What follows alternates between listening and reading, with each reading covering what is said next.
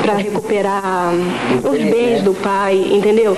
Então ela tem que lutar num ônibus, ela perdeu o cara que ela gosta, ela está vivenciando milhões de coisas e é legal porque é um papel que amadurece ao longo da novela. Eu acho que é uma menina que vai se tornando mulher, entendeu? Na, através das porradas da vida, né? Que a gente leva. Mas você acha que você, assim, você cresceu com esse papel? Acho que a gente sempre aprende. Eu vou dizer, eu acho que como atriz eu cresço. Como atriz eu cresço.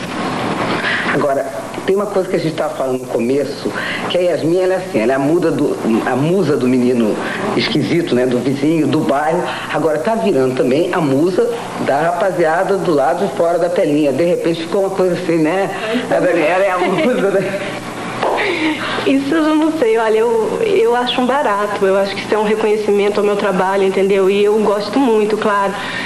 Mas isso é uma coisa que assim, eu não deixo nunca invadir muito, me invadir muito, porque eu acho que eu estou surgindo agora, de repente na próxima novela é outra, entendeu? Eu adoro receber elogios e eu sei que críticas vão vir por aí também. Eu acho, eu não quero deixar isso entrar para entrar assim no meu universo para que não atrapalhe, entendeu? Para que nem eu me acomode com elogios e nem me sinta frustrada mesmo até não, não dou para isso, não quero mais, sabe? Sem vontade de lutar pela minha carreira por causa de críticas.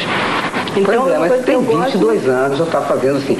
Mas né? isso acontece, né? Com três novelas. É. Né?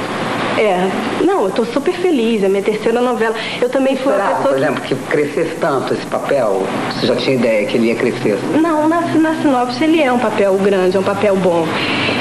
Eu acho que eu esperava que ele, que ele fosse assim, que as pessoas gostassem muito, porque é um papel muito povão, né? Que igual ela gosta de samba, ela, ela brinca, ela é irônica, ela, como é uma novela que é, que é um drama, né, de certa forma. Então eu acho que o subúrbio deixa um lado, fica um pouco mais leve, né? Os personagens são mais engraçados. Então é eu esperava que. Agora, no dia que Yasmin teve que cair no samba, você caiu na boa, né? Mas eu adoro samba, eu sou apaixonada por samba. A melhor notícia quando eu li a sinopse foi saber que ela quer